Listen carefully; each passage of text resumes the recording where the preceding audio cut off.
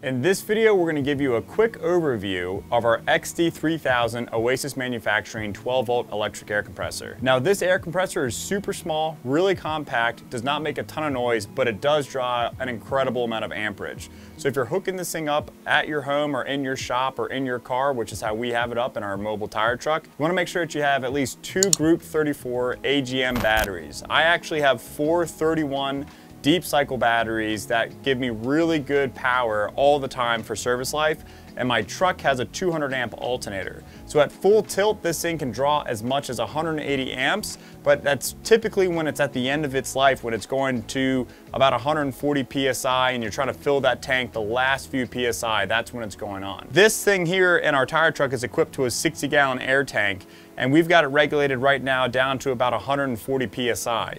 Uh, we noticed that when we had it any higher than that, it wasn't really necessary for the size tires we were doing. If we are doing a heavy duty truck and we need to up the PSI to a little bit more to give us some more use out of it, we can bump it up. But most of the time we're just doing normal truck tires up to a 19.5. Uh, we've done maybe 122.5 with this air compressor. It's had no problems.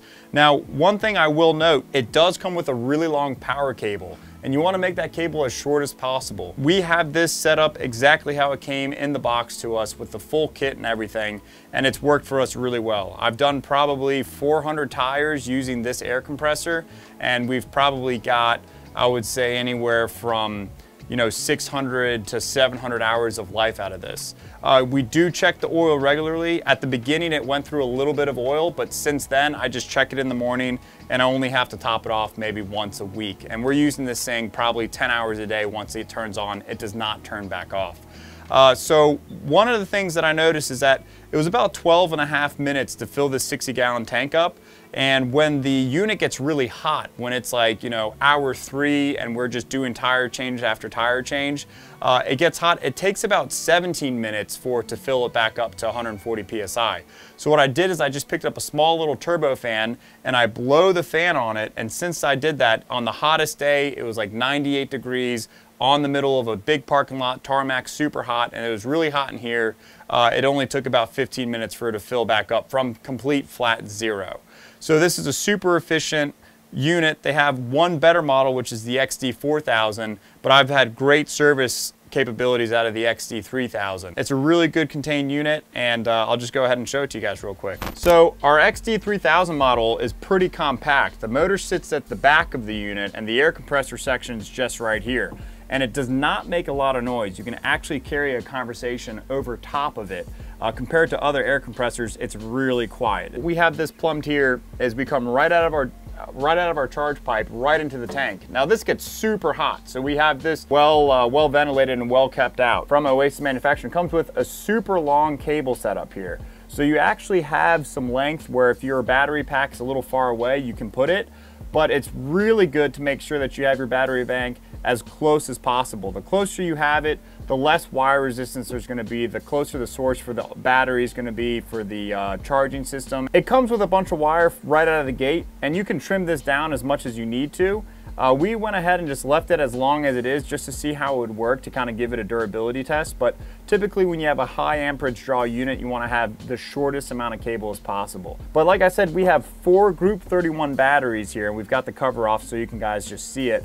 And they're just you know, ran in a parallel setup. They do make a 24 volt system if you have a truck that runs a 24 volt system, but for us, we just run a 12 volt system. I have an RV charger that charges this if I do short power, and then I also have the truck 200 amp alternator wired into this battery bank as well as well as another two batteries for the truck itself. But this unit here, we've literally run it all day long. It hasn't blown up on us. I had a little bit of a concern at one point on what type of fluid to use, so I called the Oasis manufacturing team. I talked to the owner, I believe, John, and he gave me all the information and a ton of helpful uh, tidbits on how to have this thing set up and how to service it and give it a good, healthy life. So how I run this unit is I turn it on and then I get ready with my car to do all the tire work. I turn this thing off every night and drain the tank so there's no moisture inside the tanks. And I use a little fan here just to blow on this thing to keep it cool because when we turn this thing on, it pretty much doesn't turn off for like eight hours. So I'll go ahead and uh, turn her on so you guys can kind of get an idea of audible.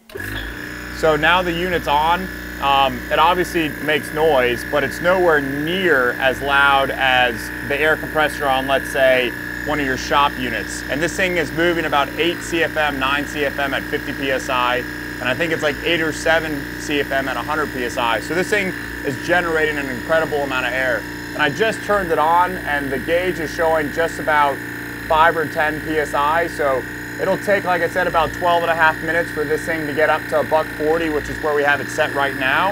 And uh, now what I'll go ahead and do is just turn on my power inverter and spin my fan up here to go ahead and cool this sucker off because this thing will get so hot you don't want to touch it and this charge tube will get super hot as well. You don't want to touch that either. So I just have this little small blower fan just blowing cool air right across it pretty much the whole time this thing's running. And I think that's going to give me a lot more service life and durability. Uh, because once I do it this way, it cuts off about two and a half minutes of time to fill this tank up. And when you're trying to do, you know, 10 tires, 12 tires at one location, the two minute recharge time will sort of add up. So it's really a good idea just to have some sort of cool air moving over it. But this thing's awesome. I mean, we've given this thing such a beating and it hasn't died on us yet. We use a really high quality fluid uh, for our compressor oil. We also picked up some from Oasis Manufacturing themselves, but I ran out of that type, so I just went and picked up a really high quality one. But you know, it's a really great unit. It's made in the USA. It comes with everything that you need to hook it up. If you get the kit from them, they'll give you a small tank.